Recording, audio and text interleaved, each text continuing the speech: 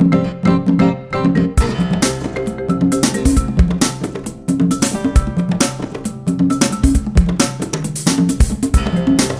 going to start by looking at angles and naming and classifying them. When you have an angle, it's made up of two edges called rays.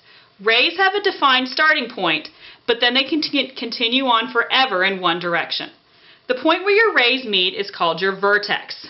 From there, if you need to name the angle, you can name it by its letters, angle A, B, C, or we could go the other way and call it angle C, B, A.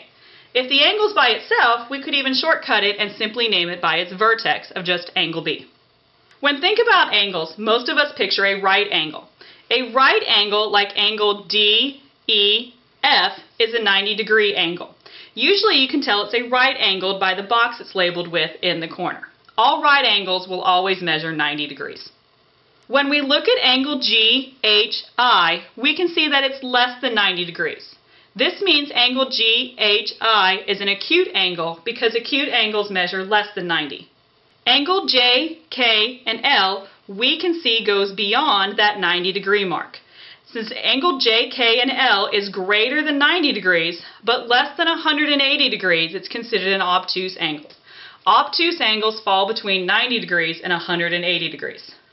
When we hit 180 degrees, like we have with angle M, N, O, we have a straight angle. All straight lines are 180 degrees, so they are all considered to be straight angles.